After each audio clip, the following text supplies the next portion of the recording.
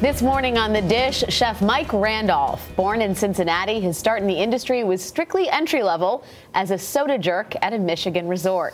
But he loved the restaurant world and after studying political science, went on to culinary school. He worked at top spots in Chicago, but he hit his stride in St. Louis with half and half, specializing in breakfast and brunch. Randolfi's for Southern Italian and the Latin inspired Publico, which this year earned Randolph James Beard semifinalist honors as best chef in the Midwest. Mike Randolph, good morning. Welcome to the dish. Welcome. Yeah, it's great to be here. Thanks for having me.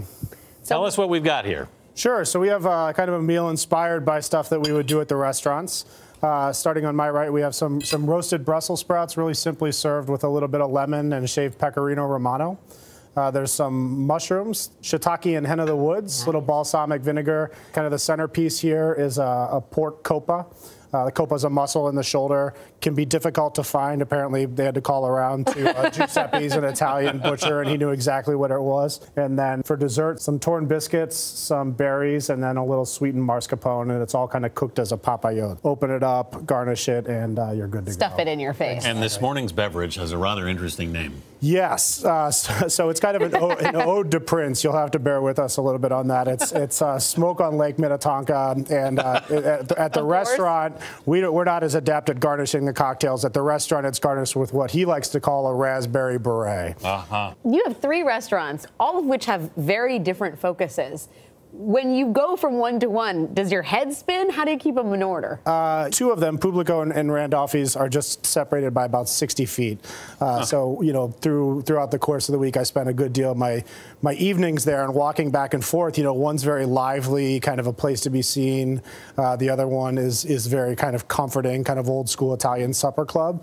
Uh, so it's a really cool kind of dichotomy to walk 60 feet and walk from one world into another. Yeah. Well, do you, is it hard to develop the menu for each, or is it really liberating to develop the menu for each? It's liberating. My wife calls it menu land. It's just kind of where, where I go off to in, in my happy space. He's in menu land. Yeah, exactly. So, did you come from a sort of a food family? I mean, I understand your aunt punished you severely yeah. when you came home with fast so food. So, I came from uh, a, a, my father's side of the family, the the Randolfi side uh, was a large Italian side, and right. yeah, I definitely have a memory of walking to my aunt's pool party and my great aunt Nettie and some of my grandfather father's sisters throwing me in the pool because I showed up with a bag of fast food.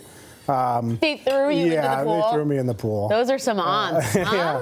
But you know, to answer your question, no. I mean, I, I really grew up eating well-done fillets and twice-baked potatoes for the first 14 years of my life, and uh, so it's like, like yeah. yeah so you know, once once I got out there, you know, people have these great stories about growing up peeling potatoes in the restaurants. Like that that wasn't the case for me. So you went to the New England Culinary School, but you're headquartered in the Midwest, where the dining scene has exploded yeah. recently. Yeah. Tell us a little bit more. You're in St. Louis why not Chicago, for example, which sure. is a bigger metropolitan? Yeah, I mean, I definitely kind of cut my teeth in Chicago, and it's it's an amazing place to cook. And we still, my wife and I, take the kids up there and and, and visit. And I, I love Chicago. Um, when we were looking at kind of trying to try to strike out some identity on our own, it just seemed a lot simpler to go to some place like St. Louis, where there's a handful of really good restaurants. And where your wife is from. Where my wife is from, and that's how you get to St. Louis. You're either you're either born there or you're married into it. and, and I'm married into it. So. well, sounds like the marriage is flourishing. Yeah. Oh, it's you know. it's great. St. Louis has been very kind to me. Chef, I'll ask you to sign this dish as we always do on this segment, and I'll also ask you the question we ask, which is if you could share this meal with any person, past or present, who would it be? Sure. Uh, well, this is probably a generic answer. My father passed away two years ago, so I, I would say my dad. Um, but if he was busy doing something like maybe watching watching a Xavier basketball game with my brothers, uh, then I would say Bruce Springsteen would be a. yes. You know, a, a, Both a, good choices. Very good choices. That is not a generic answer. Yeah. no, not not at all. Uh, Chef Mike Randolph, congrats on all the success, all the projects, Thank and thanks so for much. joining Good us. Good luck with the new restaurant. And for more on Chef Randolph and the dish, head to our website at cbsthismorning.com. Now here's a look at the weather for your weekend.